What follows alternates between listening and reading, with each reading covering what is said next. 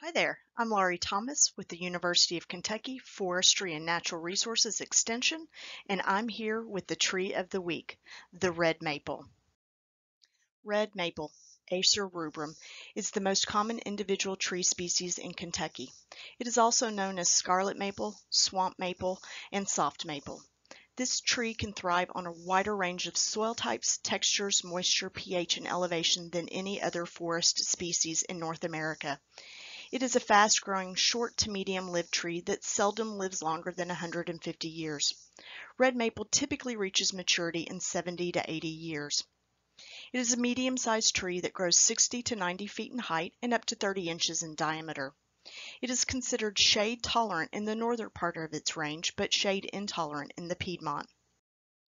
Red maple is one of the most widely distributed trees in eastern North America.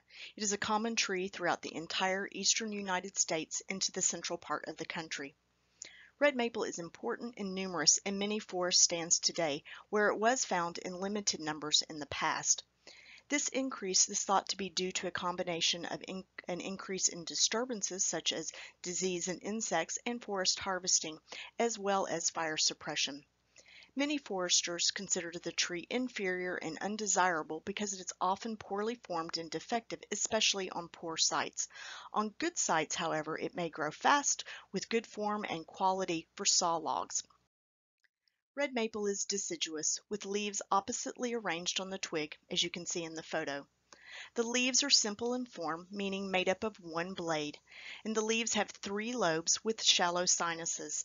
Those are the indentations between the lobes. The lobes are palmate, which means the midribs radiate from one point at the base of the leaf. And you can see in the photo, this leaf has three midribs that start at the base of the leaf at the petiole, and the margins are serrated or toothed. The upper surface of the leaf is green, and the underside is somewhat whitened. In Kentucky, the other maple you may confuse with red maple based on the leaf is silver maple, which also is sometimes referred to as water maple. As you can see, the silver maple leaf has five lobes with very deep sinuses as compared to the red maple. Red maple browse is considered to be toxic to horses and cattle, especially during summer and fall. Brilliant fall coloring is one of the outstanding features of red maple. In the northern forest, its bright red foliage is a striking contrast against the dark green conifers and white bark and yellow foliage of the paper birches. In Kentucky, it's just as striking against the russet oaks, golden sugar maples, and deep greens of our pines.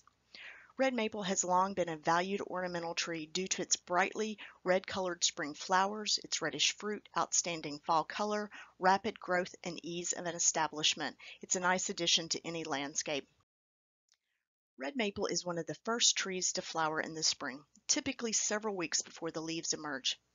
This species is polygamodioecious, which means some trees are entirely male, producing no seed, some trees are entirely female, and some trees are monoecious, which means bearing both male and female flowers. The top photo shows male flowers, and the bottom photo shows female flowers. Because of the abundance and wide distribution of red maple, its early produced pollen may be important for bees and other pollen-dependent insects. Red maple is primarily wind pollinated, but insect pollination is reported to be important as many insects, especially bees, visit the flowers.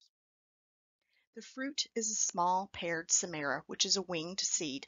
In fact, red maple has the smallest samaras of all native maples, only about three-fourths of an inch long. The samaras have slightly divergent wings and hang in clusters. They are often reddish and they ripen to a light brown in late spring, many times before the leaves have even completely developed. Red maple is a prolific seed producing tree, and trees as young as four years may begin to bear seed. Bumper crops are usually produced in alternate years and with a 12 inch diameter tree yielding nearly a million seeds. Seeds are wind dispersed and can germinate almost immediately.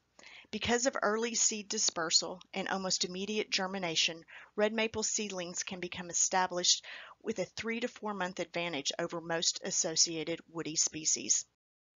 Several wildlife species eat or browse the foliage and twigs of red maple, including white-tailed deer, moose, elk, and snowshoe hare.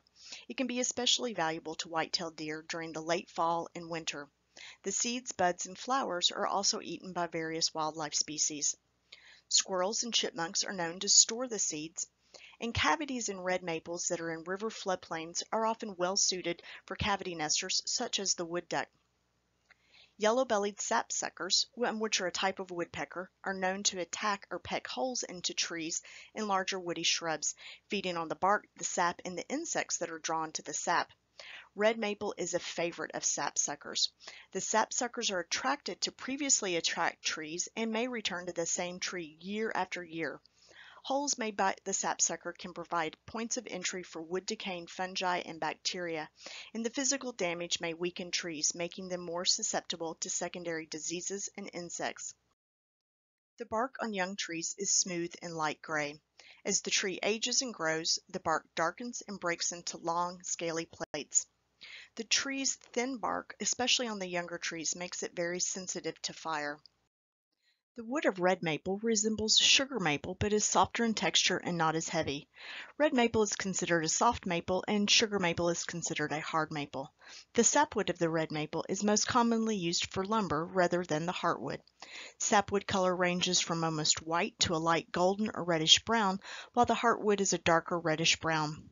Red maple can also be seen with curly or quilted grain patterns. The wood is used for saw timber and pulpwood and occasionally used for veneer. The wood is also used for crates, pallets, musical instruments, and small specialty items. The sap can also be used for maple syrup, even though hard maples such as sugar and black maple are the principal species used for syrup production. Red maple sap has only about half the sugar content that is found in sugar maple sap. The national champion red maple is located in New Haven, Connecticut.